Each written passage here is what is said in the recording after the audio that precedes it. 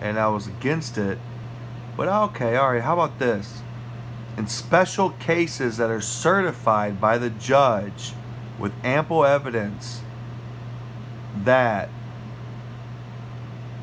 a possible, like a kidnapping, that you could rush in there, a no knock warrant, rush in to save a little girl and not give enough time for the perp to kill the kidnapped child. Something like that, I think that you would need special permission, a special uh, go ahead, a special clearance for a, a special no knock warrant. But other than that, in general, no knock warrants, you it's unconstitutional. It doesn't give you time to react. Okay, this is authority.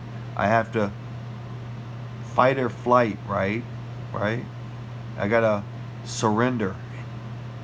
I gotta not fight. I gotta not fight. I gotta not run.